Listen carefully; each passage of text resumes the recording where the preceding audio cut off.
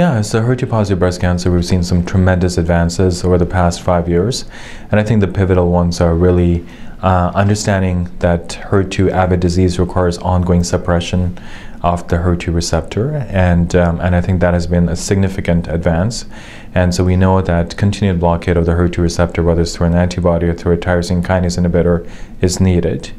Um, probably the second big advance has been the incorporation of pertuzumab in the first line setting based on the Cleopatra results, uh, which have shown improvement in progression free survival and a significant improvement in overall survival as well.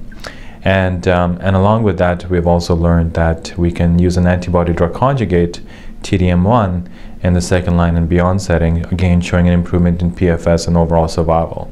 So when we start um, collecting uh, all the evidence and now putting into clinical practice, we can expect the median survival for patients with HER2 positive breast cancer now to exceed five years. So it's been a pretty dramatic improvement over the past five years or so. There's still uh, some critical issues that we need to address.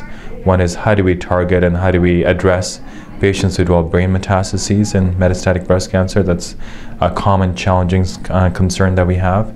And the second is, you know, how long do patients really need to be treated for when we're giving these therapies, which are expensive treatments? And um, for now, we're giving it till progression, but there's many patients who are doing really well with a complete response, and do we need to continue that on until progression? I think that's uh, something that needs to be addressed with ongoing studies.